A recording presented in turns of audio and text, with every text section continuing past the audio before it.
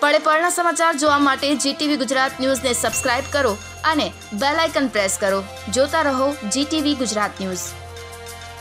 લોકડાઉનના નવમા દિવસે બોડેલી ઝડપે સલાક બંધ જોવા મળ્યું. બોડેલીના વિવિધ માર્ગો પર સેનિટાઈઝર દવાનો છંટકાવ પણ કરવામાં આવ્યો. બોડેલીના વિવિધ માર્ગો પર સેનેટાઇઝરનો છંટકાવ કરવામાં આવ્યો છે. કોરોના વાયરસના કાળા કેરને લઈને વિશ્વ તેમજ ગુજરાતમાં હાહાકાર મચ્યો છે.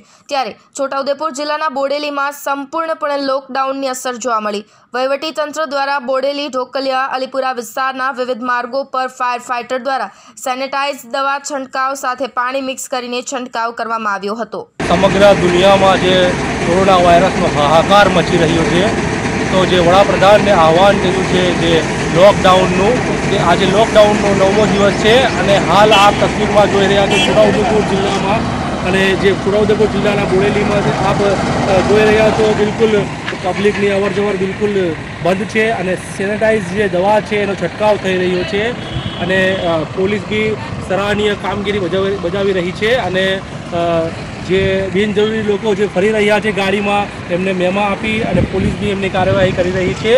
અને જે લોકડાઉનનો જે અસર છે અને જે લોકડાઉન થઈ રહ્યું છે, એનું સંપૂર્ણપણે પાલન થઈ રહ્યું છે. Imran Mansuri GTV news, Chhota Udepur.